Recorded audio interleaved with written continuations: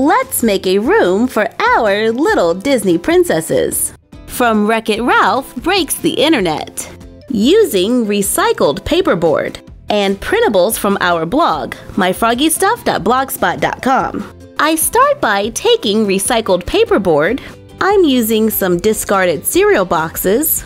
I take a cereal box and cut it straight up the center. Take another box the same size. Take another cereal box and cut up the side to make large rectangles. And I'm going to keep the bottom tab attached. So we have two of those to go on either side. I cut another box and this time I left a tab on the side and the bottom. So I can glue the side tab underneath one of the rectangles to connect them.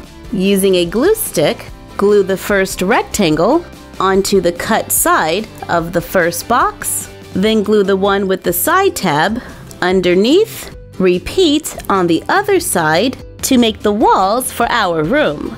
I'm going to cover them using printables. I am using a plain wall in the center, then I glue the ones with curtains on the sides. I use a brick on the back to keep it neat, fold the tabs at the bottom in, take a piece of recycled cardboard, place the walls on top, trace around it on the back, cut on the line drawn, cover with paper, glue it into the room on top of the tabs to make the floor. Now I have a little recess in the room right there, so I use paper to make a pattern, folding it to get just the right shape, trace it onto foam board, cut it out, and remember to always have adult supervision when crafting. Cut 2. Cut another one out of cardboard. Glue the foam board into the box, gluing small rectangles between them for support to make a seating area.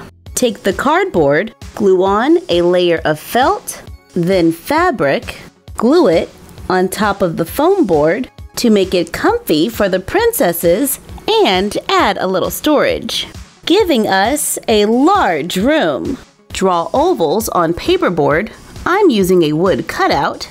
Cut them out, cut them in half, stack and glue them together. Cut wooden dowels to go underneath.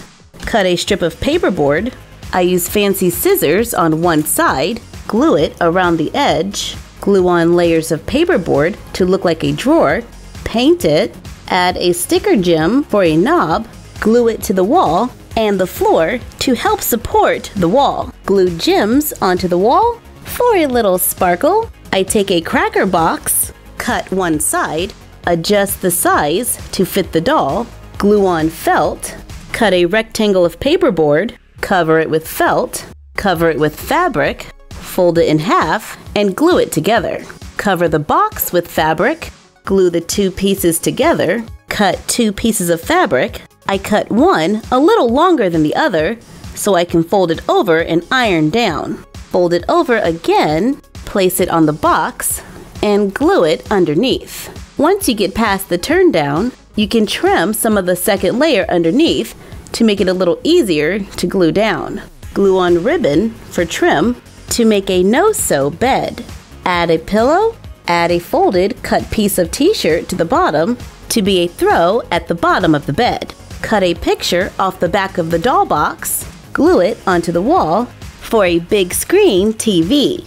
Cut rectangles of foam board, stack and glue them together Cover it with fleece or felt like we did in our doll sectional video. Then glue the rectangles together, making an L shape. Glue some on to the back. To add height, I glue beads underneath to make a couch for the room. Sew large pillows to go on the floor. Add smaller pillows around the room to spread the color. Cut squares of fabric. Lay them good side to good side Sew a straight stitch going around the edge, leaving an opening so it can be turned inside out. I want this print to be on the outside, so I fold it in half and sew across the bottom and halfway up the side. Flip it inside out to make a sleeping bag for the dolls. And we can store them underneath the bench when not in use. Fold fabric accordion style, cut a wedge shape sew them together along the side edge, then open it up to add the next wedge. Once they've all been sewn together, I left an opening at the bottom so it can be turned inside out. Add fluff. Sew the opening closed. I used a small circle of fabric. And to give it that beanbag shape, I'm going to sew down the center to make a beanbag for Cinderella. Add a bag of our printable doll chips to make the ultimate princess sleepover room. Inspired by Wreck It Ralph 2, Ralph Breaks the Internet. And now we have a place to play with our Disney princesses. That is big enough to hold them all. Thank you for joining us while we made our Disney Princess Sleepover Room. Like, comment, share, and subscribe. Don't forget to ring the bell and follow us on Instagram at my Froggy Stuff and the Frog Vlog. And you're done. Happy crafting!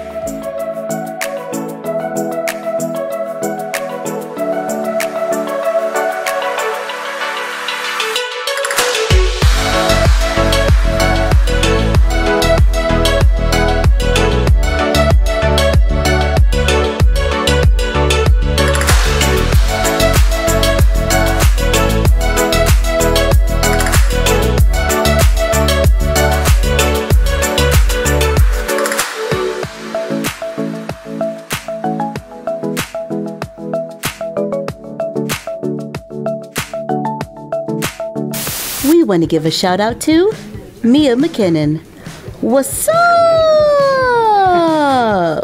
There, another masterpiece done. Nice painting, Rapunzel. But can you paint with all of the colors of the wind? Ah. Let's turn on some music and dance. I ain't got time for dancing. That's just gonna have to wait a while. Get it? Wow.